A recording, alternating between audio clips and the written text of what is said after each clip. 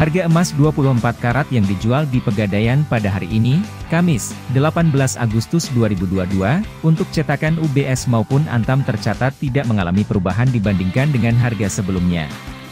Berdasarkan informasi yang ada pada laman resmi Pegadaian, harga emas 24 karat UBS ukuran terkecil yakni 0,5 gram dijual seharga Rp506.000 sama dengan posisi Rabu, 17 Agustus 2022. Sedangkan untuk emas 24 karat cetakan Antam ukuran 0,5 gram hari ini dibanderol seharga Rp560.000 yang tidak berubah dari harga kemarin.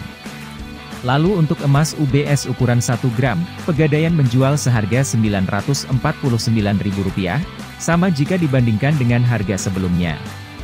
Untuk ukuran yang sama emas Antam dijual Rp1.015.000. Emas 24 karat UBS dengan ukuran 5 gram saat ini dibanderol Rp4.646.000, sedangkan harga emas antam Rp4.837.000. Kemudian untuk cetakan 10 gram harga emas UBS dipatok Rp9.242.000, sedangkan emas 24 karat antam dihargai Rp9.615.000. Sekian harga emas untuk tanggal 18 Agustus 2022. Untuk mendapatkan harga emas setiap hari, silahkan subscribe ke channel ini. Sampai jumpa di video berikutnya.